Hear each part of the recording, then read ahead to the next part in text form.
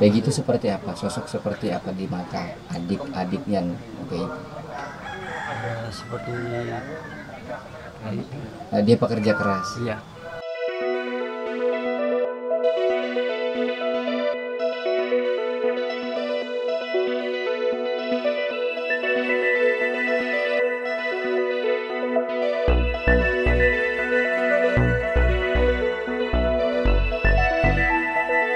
Mas Robi eh, boleh dijelasin Mas Robi juga dapat surat panggilan juga ya?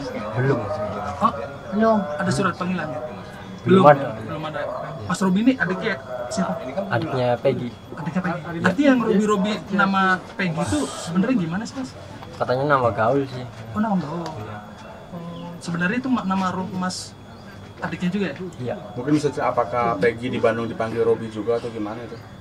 ya kurang tahu Hanya di bedeng aja atau gimana? iya hanya di bedeng aja Waktu kejadian itu eh, Peggy sama Mas Robi ya? iya Di mana? di bedeng di Bandung Di Bandung. iya Tanggal lupa tanggal 27 Agustus 16 2016 itu sama lagi bareng di situ.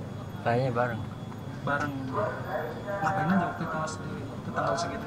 Malam tiduran tidur. tidur Artinya benar kalau si Peggy ada di Bandung ya. iya benar ada di Bandung Siap memberikan kesaksian kalau diperlukan. siap Pak, harapannya Pak dari kasus ini gimana nih pengennya Pak? ya cepat keluar aja Yakin Peggy nggak bersalah? yakin tidak bersalah Kalau terkait nama yang sering dikaitkan sama Mas Robi gimana Pak komentarnya? lupa Mas, sepengetahuan AA, bagaimana sebetulnya Peggy menyayangi adik-adiknya? Peggy itu seperti apa? Sosok seperti apa di mata adik-adiknya? Oke. ada seperti kayak Nah, dia pekerja keras. iya Apa sih pekerjaan Mas Peggy itu? bangunan Bangunan. iya terima kasih. ya. Kalau Mas Robi pulang ke Cirebon sering atau gimana?